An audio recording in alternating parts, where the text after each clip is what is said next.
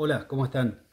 Bueno, hago este video para denunciar públicamente y visibilizar una situación muy grave que está ocurriendo en Concordia y tiene que ver con persecución, con amedrentamiento, con hostigamiento y con censura por parte de funcionarios de la Dirección de Cultura de Concordia.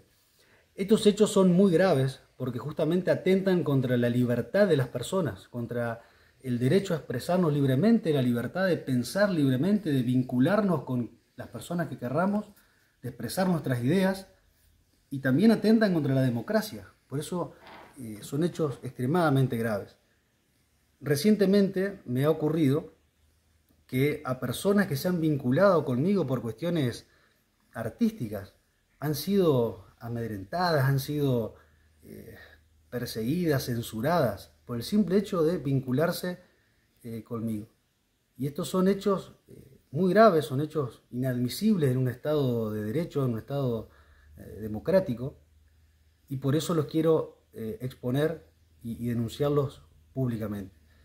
Recientemente me ha ocurrido que un ballet que concurría una peña que yo organicé en un club de Concordia, en el Club Alumni, una peña popular donde no había banderas políticas, donde no había ningún mensaje político, los amenazaron con bajarlos de la fiesta de la citricultura por haber ido a esa peña.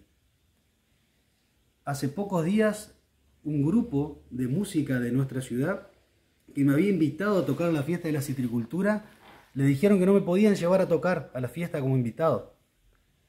Entonces, yo me pregunto, al señor Valderrain, al director de cultura, ¿esta es su gestión cultural? ¿Esta es la gestión cultural en Concordia? ¿Perseguir a las personas que piensan distinto? Realmente yo, eh, en todos los años que tengo en la música, de los nueve años que compongo, que toco el acordeón, anduve por todo el país, por otros países, nunca he vivido una situación así. Yo le pido, señor Intendente, que intervenga inmediatamente no creo que usted esté de acuerdo con lo que están haciendo sus funcionarios.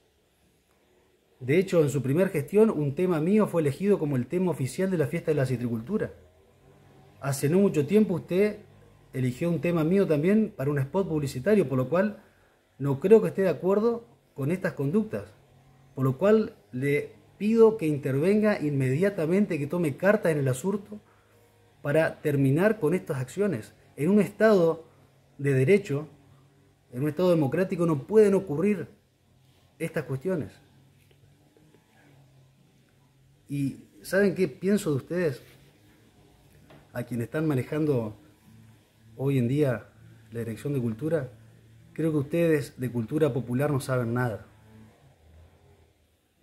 La cultura no tiene banderas políticas, la música no tiene banderas políticas. Por eso le pido, señor Intendente, que intervenga inmediatamente y haga cesar estas actividades. Muchas gracias.